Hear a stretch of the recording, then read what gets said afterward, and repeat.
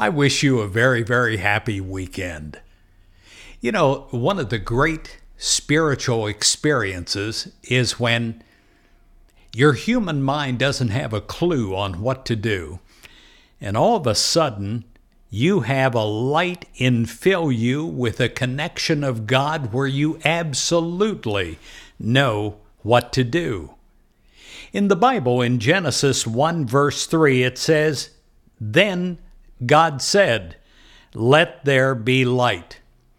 When there is light that comes into your human mind, you absolutely know with a certainty that the decision that you're making is the right one.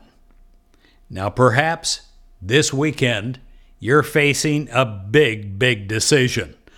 One that can no longer be postponed. You tried to postpone it as long as you can, but you are up now to the deadline.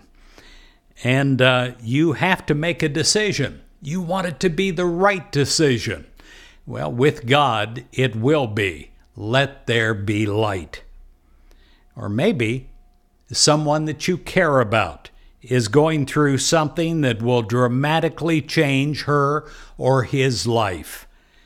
Well, take heart and know with your friends at Positive Christianity that times such as these can be easier and less stressful when we know and we remember that we have God's active help and that God's genius will come through our human mind and raise us up, that we'll go up higher than we could do individually.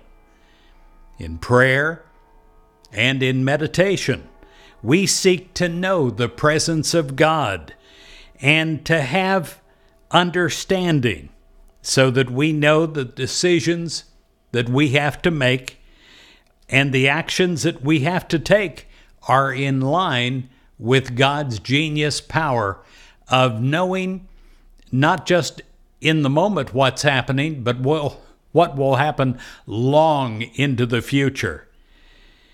We have reached the point in our lives that we, when we think about it, we got here with the help of God. And human mind kind of forgets that. But when we take time to remember again, we can know with a great certainty that we're going to get to tomorrow also with the help of God. So let's know that the rest of our journey will be in companionship with God and in the accompaniment of the best possible decisions, the wisdom, the understanding of God that could ever take place in our lives. This weekend, we trust God. And this weekend, we make wise decisions with God's help.